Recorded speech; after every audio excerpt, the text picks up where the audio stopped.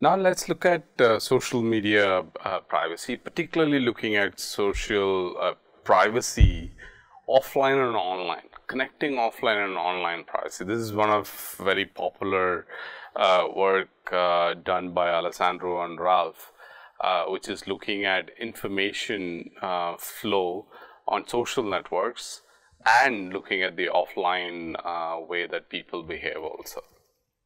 And please keep in mind these are these are phenomenal work, uh, like a decade or a, this this I think is 2004 or 2005 paper.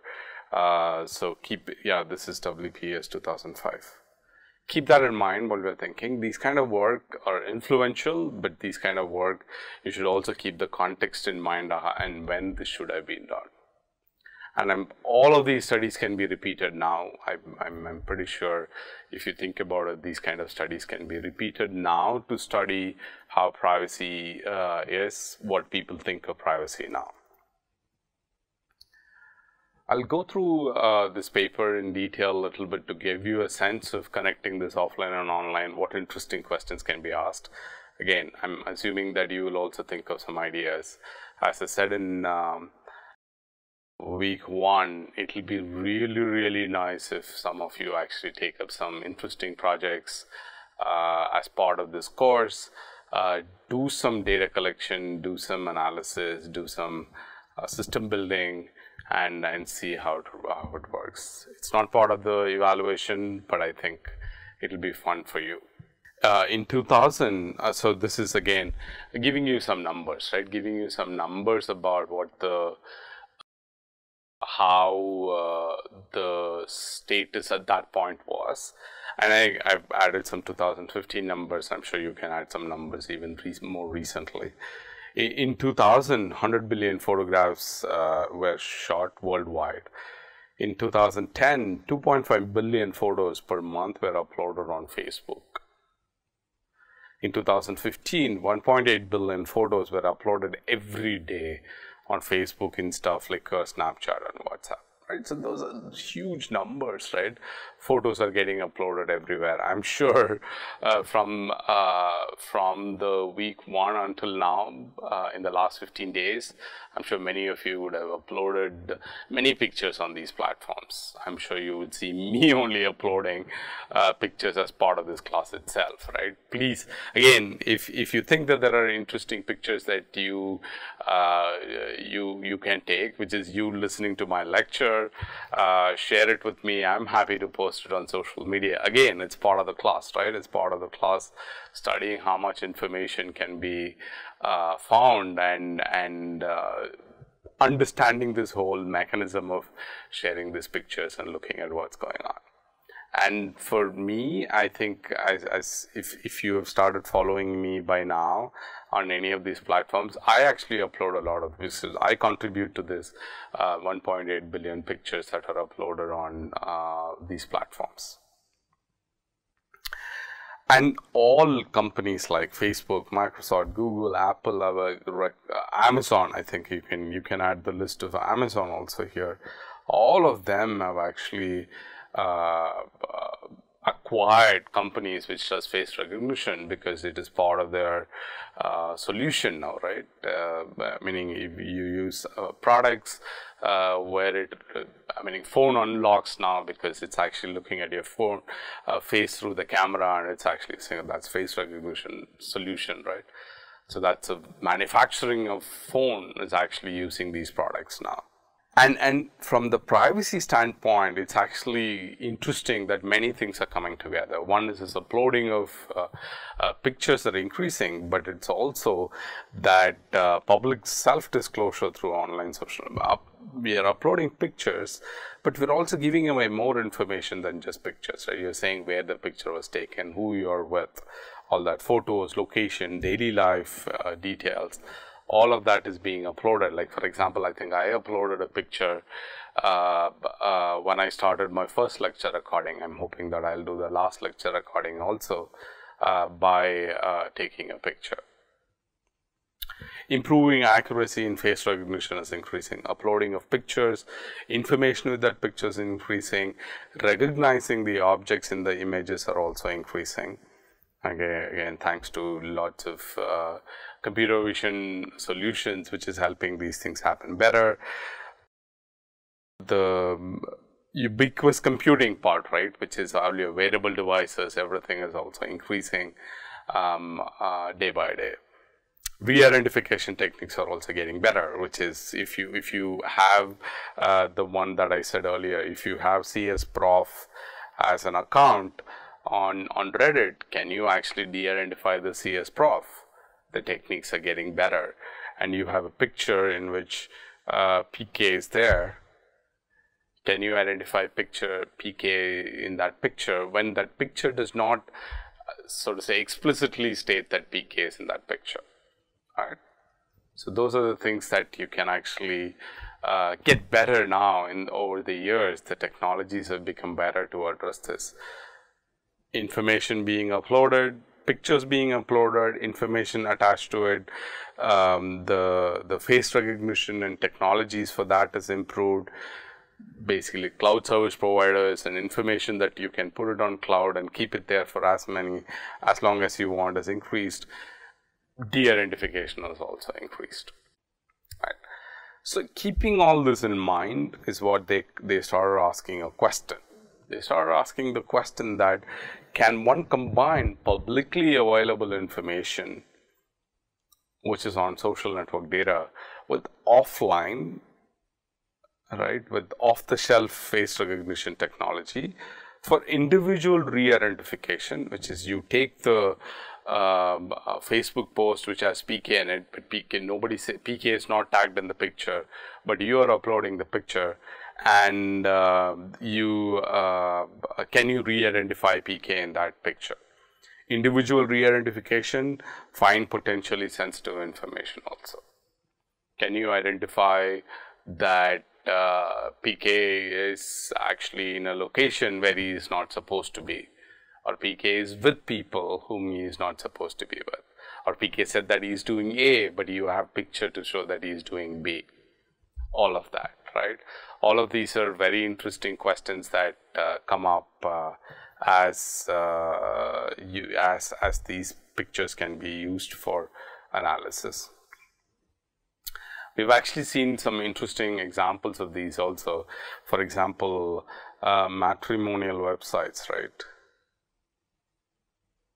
Matrimonial websites has these uh, interesting feature because there people say what they want people to know about them, right?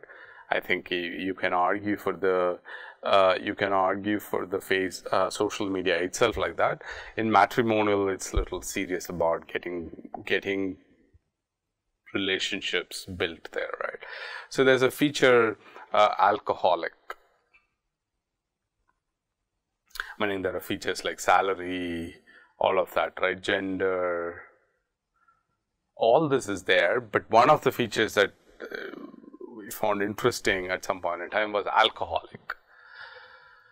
Lots of people would say that I'm non-alcoholic, right? They would put uh, non-alcoholic for probably a better impression, I guess. It's all about impression management, right? When we saw, when we analyze some of these matrimonial websites, we found that again, all of this is publicly available. We found that people who say non-alcoholic on a matrimonial websites, you look at their Facebook or a Twitter post, they would actually be in a pub, in a in a uh, in a uh, they would have uploaded a picture where it shows that they are actually consuming alcohol interesting right? Interesting which is which is what am i trying to do is connecting to this question which is take up a, a social media information which is somebody posted a picture on twitter uh, in a, in a pub or a bar. Can you take that picture and use this other information in this case matrimonial website to re-identify this person saying that it's actually pk uh, he, he, he or she is from this location interesting question, right? Interesting uh, a connection you can make, and and we found some interesting patterns out after this also.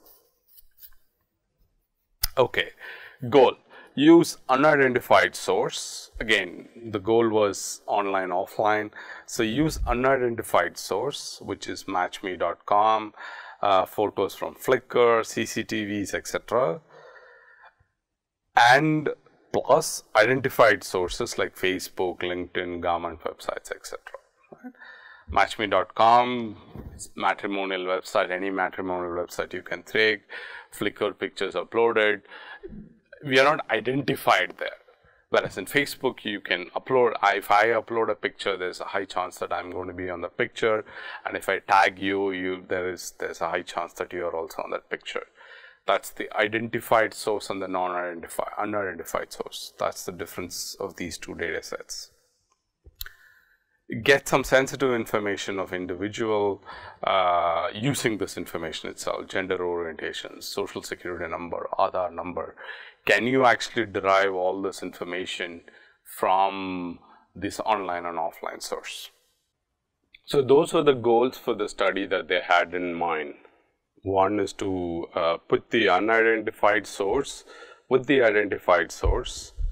With that, can they actually find out some sensitive information of individuals? Okay. Let's continue looking at the study.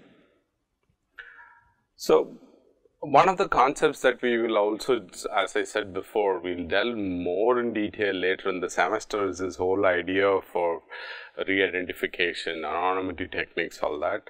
So this is one work that became very popular because of which the idea of re-identification or anonymity also became very, very important.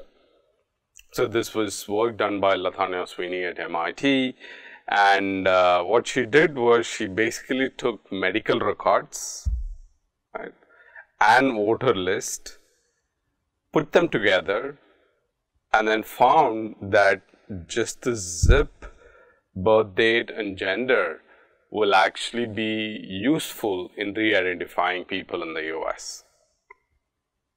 Right. So this may look slightly trivial now, but this is this was the first time it was done so it was actually a phenomenal piece of work uh, in 90s uh, where where she looked at uh, putting these two data together and then re-identifying uh, people. And particularly she also re-identified some politicians uh, with their with uh, given their um, finding their medical records from this uh, uh, medical data was actually super uh, super cool at that point in time. There are many techniques that has been built on this idea called anonymity, which is to protect the data when it is shared and people cannot any nobody can actually re-identify uh, people in the data set.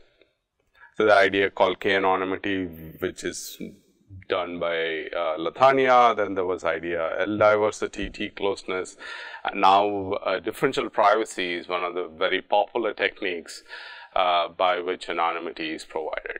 I'm sure if you're using the Apple phones, if you're uh, uh, using tools which uh, as differential privacy, and these days many tools are actually applying differential privacy in their in their features.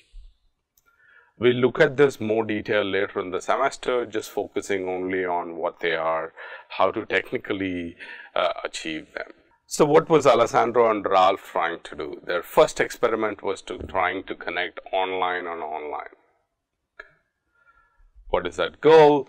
Uh, publicly available images from Facebook to re-identify uh, profiles on one of the most popular dating websites. If you remember, I said dating websites is Match.com. You can think of it as Jeevan, uh, JeevanSathi.com. Any of those kind of websites, you could actually uh, think as one of the source. What they did, they found these images, right? So they wanted to figure out who is that in the uh, image. So they used this uh, tool called PittPatt.com.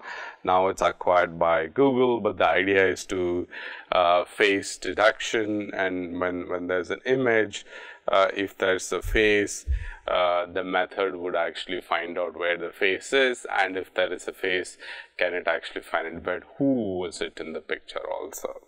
Meaning now I'm, I'm sure you, you are more skillful in terms of identifying these kind of things.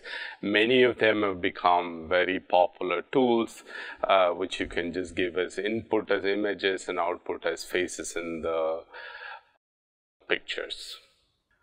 The data that they had was uh, so so again remember identified and unidentified data, identified sources. Uh, the data that they had is downloaded Facebook profiles from one city in the US. Profiles uh, they had profiles of 270,000 and images is 274,000 and faces detector was about 110,000. So this is the identified source because it's Facebook because Ponnurangam Kumaraguru is uploading the pictures and it is taken from my profile so you can actually identify that uh, PK is in this picture or not. Today, this may be a little hard to do because I think collecting this data from Facebook may be a little harder.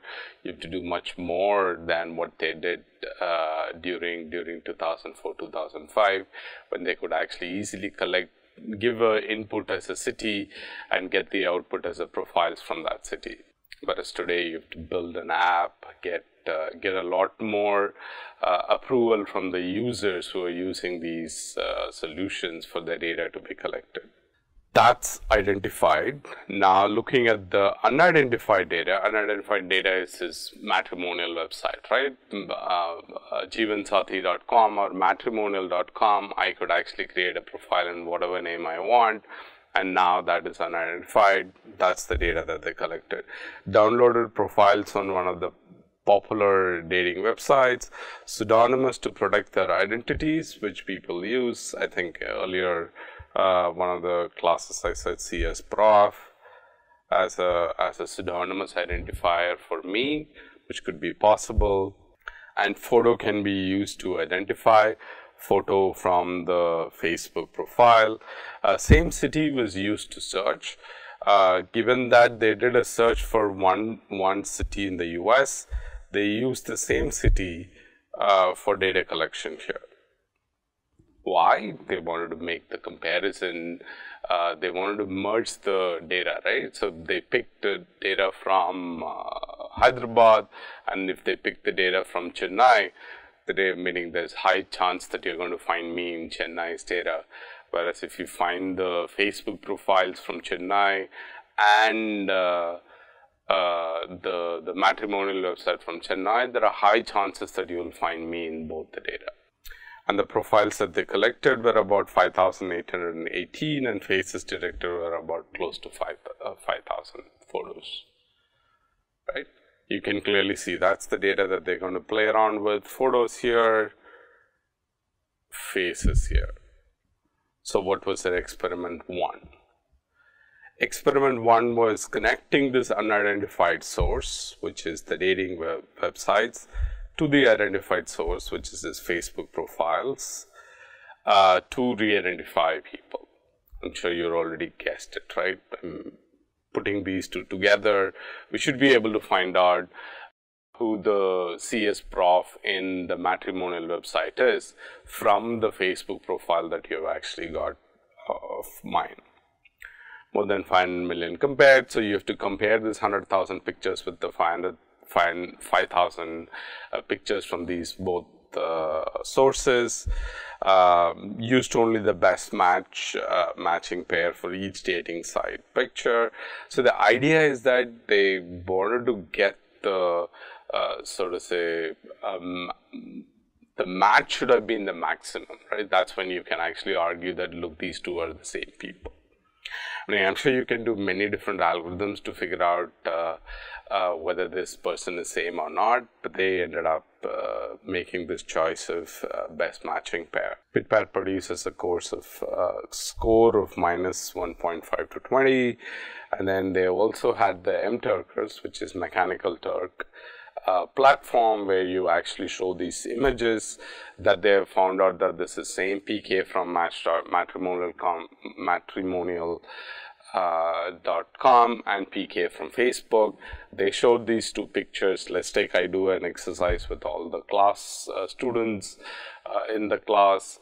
I get you to actually say click on it saying okay is this the same person or no is this the same person or no I, I show you 50 pictures and I get you tag it and similarly, I saw the same 50 pictures to 55 other people. All of them will actually tag it and accordingly I can actually make a choice that whether it is same person or not, right? this method is actually very common annotation and getting um, uh, real people to actually do this task, uh, which will help the results that you have have more confidence in it. Now that people are actually doing it, it's not just a algorithm that is doing it. People have confirmed it what the algorithm found. And they did a, a Likert scale of 1 to 5, which is matching. Uh, whether it is matching fully, whether it's matching partially, or whether it's not matching. That's the uh, results that they got. So why is this better? Because see, otherwise, if you were to do go and do all the 500 million by the MTurkers, it's going to it's going to take a lot of time. It's going to take a lot of money. Instead, run it by an algorithm, reduce that number to a smaller size, and then actually show it to users by that way you are actually uh, reducing the time, reducing the cost, and probably making the results better also. Uh, at least five Turkers for each pair. Uh, so this is what I said. I, I, would take 50 images and get five of you to actually uh, annotate the same picture. Therefore, I have more confidence again. If five people agree that it's the same uh, person or it is not the same person, there is actually chances that it is not the same person. It's not all five people agree. Let's take if three people uh, agree that it's the same person. Again, just making my confidence level uh, higher is what all of this is about. Getting more people to annotate, uh, getting actually people to annotate also in addition to the algorithms that have found it. Um, experiment one results, what did they find? They found that highly likely matches is about 6.3%. When users MTurkers actually matched, it was about 6.3% highly likely plus likely. This is this is happening because of the five point Likert scale, one to five, right? Highly likely, likely matches neutral, highly unlike, uh, unlikely, and then uh, highly unlikely matches, right? So this is 10.5%, um, uh, which means 1 in 10 from the dating website was actually re-identified. Just imagine, right? Just from one city, uh, data was collected and uh, they could actually identify 1 in 10% of the people re-identification. Right? So therefore, it's actually, meaning as you think about it, think about ways by which uh, you can actually do this in India also and try some small experiments that you can do it. So if you think about the methods that we just saw, which is just taking images, putting them together, figuring out whether they're the same person through an algorithm, and then using an MTurker uh, to, to confirm it, meaning if you are the attacker, right, attacker in terms of actually finding either in, in one side, can you actually do things that it will not be re-identified, right? So that I as a user, I as PK, I want to put the pictures on matrimonial website and on Facebook, but I don't want people to actually connect them together. Versus on the other side, I want to put pictures together and I want people to re-identify that it's the same person, right? So that's the uh, that's the spectrum that that generally comes into discussion about uh, where a user completely wants anonymity, which is I don't want to be re-identified. Uh, this let's take is 100% anonymity, and this is 0% anonymity, which is like just connect me, I'm okay. Even though if I have a, a handle says uh, uh, ponguru and CS Prof, I would like you to, I would like an algorithm to actually figure out that it's actually the same PK. That's here. All decisions, all technologies, all platforms that we build, keeping this anonymity in mind, will fall into this spectrum. Okay. They did experiment two. What they tried? They tried offline to online which is collect data somewhere in the offline mode and and then link it to the data that is provided that is available in the online mode. Uh, pictures from Facebook College Network to identify students strolling on the campus. So they took one campus, they collected data from um, that particular campus Facebook profiles. Again, this may not be possible now because of all restrictions on Facebook, uh, but, but during those days it was possible. Which is find, uh, search a particular campus and then you can get all the profiles from that particular campus.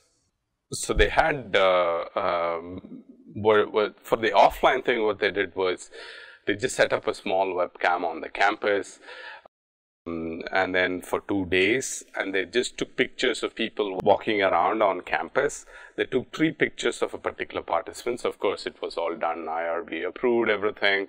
Uh, so the user were consented into doing the study and three pictures were taken about so let's let's assume that i'm i'm a student of this campus. I walk around uh, and then the uh, study administrators stop me and then say would you be would you be willing to participate in the study? Uh, if so they would take three pictures of the three pictures of mine uh, and and use it for the data use it for the analysis. Facebook data for the university that they collected, profiles is about 25,000, images is about 26,000 and about 11,000 faces were detected. It looks like they had a lot of uh, faces in images, right? 26,000 images was 114,000 faces. That's the data uh, experiment 2 pictures taken of individuals walking in the campus, asked to fill an online survey. Uh, so while um, uh, pictures pictures of these three people were taken, and then the participants were asked to uh, fill a survey. Pictures matched from the cloud, which is when they were filling the survey, there was matching done between the pictures that were taken to the pictures that they had already connected from Facebook. I'll show an image where everything is in probably like an architecture diagram which will walk you through the process. Uh, pictures matched from the cloud while they were filling the survey and last page of the survey were the options of the pictures which is by the time they finished the survey they could actually do the comparison and bring it back and show it in the last page saying look these are the pictures that we got from Facebook uh, uh, comparing the pictures that you just showed uh, that we just took yours asked to select the pictures which match closely produced by the recognizer. Yeah, so that's the flow of the experiment, which is uh, uh, starting here, upload three pictures, uh, upload three pictures of uh, the user and uh, uh, compare it with the server and then when compared with the server bring bring it back generate the survey token and uh, uh, survey meaning the user is filling the survey by that time they would uh, compare and then by the comparison so that's the architecture diagram that I was uh, referring to. Uh, what they do is they get the user to uh, take a picture of, of, the user, they upload it from the users, uh, meaning they take the picture of the user, upload it to the server, uh, do the comparison, uh, face recognition results are showing up here, and then they're filling the survey, customer uh, custom survey that they're filling, the results for the survey is given to the given back. Uh, so this is the experiment uh, subject, this is the supervisor. So essentially the supervisor is the one who's taking the picture, uploading the picture, getting the comparison. And, and if you see this, this, this, this is me doing the study. So essentially it is, it's simple, taking my pictures, uploading it to a server, doing the comparison, asking me to fill a survey, and then showing the pictures again to me. 98 participants, all, all students had uh, Facebook account, 38% of the participants were matched with the correct Facebook profile, which is the correctness is coming from I'm I'm being asked to mark saying is this me from the picture, right? That's the uh, the last part of the study, uh, including a participant who mentioned that he did not have a picture on Facebook? So that's the idea of uh, shadow profiles, uh, which which I think in one of the videos that uh, I asked you to see, you must have heard about a shadow profile, which is the the social media platforms having information about users when they are not even on the platform. That's the shadow profile, which is let's take some of you are not on Instagram and uh, but insta actually has information about you. When you show up in their uh, platform they would actually use that for recommendations use that for other purposes. That's that that idea is called shadow profile. Uh, in this case there was a one participant in the study who said that he's never uploaded a picture on facebook but he was actually uh, the, there was a picture which the researchers found uh, that he was in the picture average computations is just to show the computational side of it to three seconds. Um, so this is one, I mean, I've kind of anonymized the picture. The idea is that they took, this is the picture, this is the kind of picture that they would actually, they were actually taking uh, uh, in the study, uh, asking a participant and they used this picture to find out this person was actually in a in a group picture from Facebook. This is the study picture, while the study three pictures that they took, and this is this is the picture from uh, Facebook that they found of the user. Right, so that's the kind of input and output that that was there in the study uh, Ralph and Alessandro did not just stop here, right? They wanted to actually use this to do something more interesting, which is on the social security uh, numbers. So the uh, TED talk that I asked you to watch last week, which is by Alessandro, should have, uh, I mean, should have given you an idea of what the um, uh, social security number study that Alessandro has been doing for quite some time in trying to re-identify people uh, their their social security numbers. What did they do? They uh, predicted social security number from public data. This is another paper by itself, but it's an extension of the work that Ralph and Alessandro did, uh, as in the other uh, three-part study. The faces uh, Facebook data uh, plus the public data. This is what they used. They they had all this information, right? Faces, Facebook data that they had collected just now in the experiment two, and then the public data they could actually collect from anywhere on the internet, and then um, predict the social security number. So what? The, so this is for for those of you uh, who don't know what a social security number is. It's it's this. Uh, digits digits numbers that are given to uh, US citizens uh, like our Aadhaar number right? So it's very very meaning our I think our Aadhaar uh, idea UID idea uh, spun out of many of these uh, national ID numbers across the world. One of it is social security number in the US 27% of subjects first five uh, SSN digits identified with four attempts uh, starting from their faces, which is from, so the simple idea is that from the faces, they were able to identify some digits of the social security number. Why is some digits interesting is because the, the, the way that the social security number is given, the, for example, if you see it's a three digit here, two digit here, and then the four digit, this digits itself, the way it is placed itself was actually giving you some information, which is where I was born, which city I was born, and uh, uh, during which time I would have I, I, was born. All that was embedded in this in this number, which is what uh, was making it slightly easier, and which is what if if you were able to find out, then you could actually re-identify social security number of people, right? Right predicted sensitive information like social security number. Uh, they actually use this for predicting. So here is a paper. We won't get into details of uh, full details of this paper, but here is the uh, paper uh, which actually looked at uh, this, which is predicting social security numbers from public data. uh, they went and argued that look, we could actually figure out uh, social security numbers because of because of various reasons, uh, which is when the number could have been given. Uh, given the number, you could actually predict, oh, this number might have been given in this period, and therefore this person would have been born uh, around this period. All these kinds of predictions they were trying to do, and with with uh, with data that was publicly only available, right? So that's the that's the cool part of about it that uh, they they used only the publicly available information uh, to predict the social security number.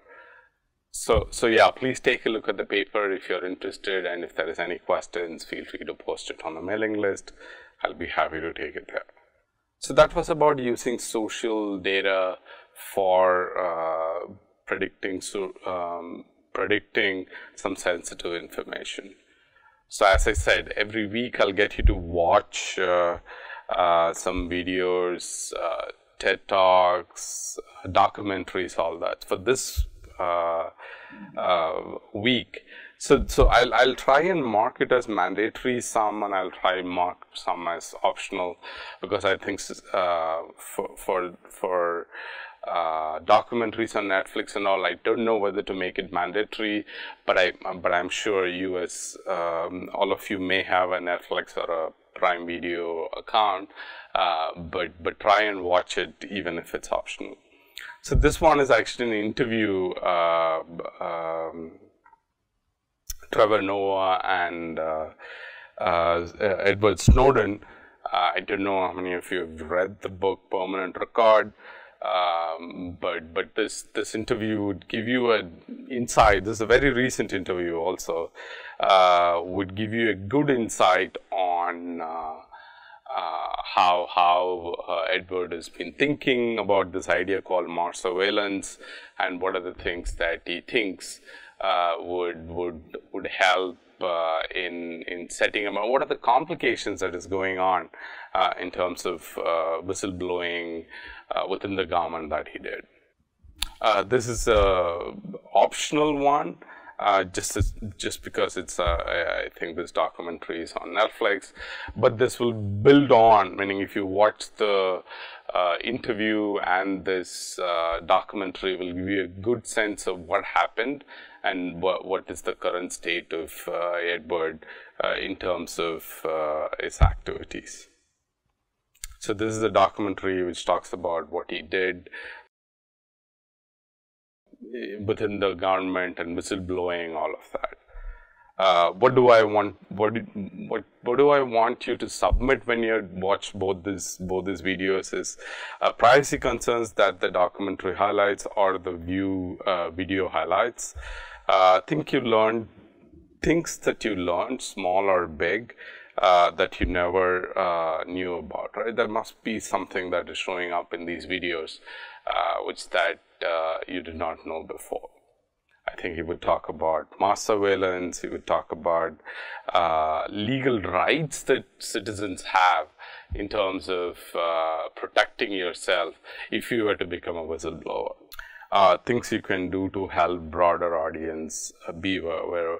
So one of the idea for me to get you to watch these videos uh, is that, uh, meaning I think these would give you a good sense of what the problem is but I think we should also think about what are the methods to tell others about this problem, right? Can you can you actually think of uh, awareness creation of these topics uh, to others? Because I think the more people understand these kind of ideas, mass surveillance, privacy, uh, anonymity, all that, I think the general usage uh, digital literacy would increase and in the process I think our all of our experiences on using these tools uh, will also increase which is actually pretty low in India to start with. So what did we cover this week, right? This week we covered uh, privacy enhancing technologies, uh, looking at uh, um, meaning what are the methods by which you can actually increase the privacy, uh, some tools like P3P, Privacy Bird, Privacy Finder, uh, some of Tor, all of that we saw. privacy invasive technologies, we talked about RFID tags, uh, we talked about methods, advertising, we talked about tracking, all of that. Uh, some of these topics will come back again later in the semester, but for now we, we just understood what the topic is. Uh, privacy decision making, looking at P3P uh, again uh, as an example. Social media privacy is a big topic for this class. Uh, but we just saw one study where where they used the uh, publicly available information and this idea for online and offline uh, putting them together and creating a user profile, particularly re-identifying social security numbers and re-identifying people using pictures. So that was uh, week uh, three, and uh, please again use the mailing list effectively to uh, talk about the topics. Any questions about the lectures, feel free to uh, ask. Uh, we would also do these online sessions um, again to to just make you feel comfortable with the topic and actually also bring up uh, some other topics that you may be interested in and uh, some other topics that you may be interested in. Yeah. thanks again for watching the lecture. See you soon on week 4.